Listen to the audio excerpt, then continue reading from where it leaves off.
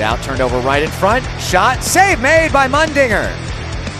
Forcing Cora to change it. Long pass to the center circle, intercepted by Dowler, and Dowler puts Matt Dorsey on his back. Played up to Adkins. given to Soper. Soper back to Adkins. Cross ice pass, looking for Standard. It's dropped up top. Shot, scores!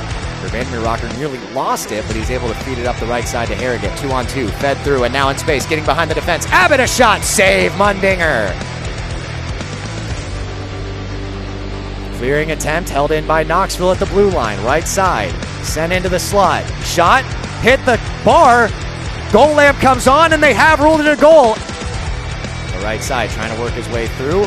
Good job by Vance to free up the puck for Enzer. Enzer lost it behind the play. Evansville takes over. High slot, moved right in front. Backhand try. Save made by Mundinger. Back up to the blue line. Shot attempt. Vandermeer Rocker. Save made. Mundinger. Drop back up top in space. Vandermeer Rocker sent to the left side. Shot. Blocker save. Mundinger. 155 to go in overtime. Knoxville wins the attacking zone faceoff. Skelly passes to the right. Gets it back. Skelly moves in. Shot. Scores!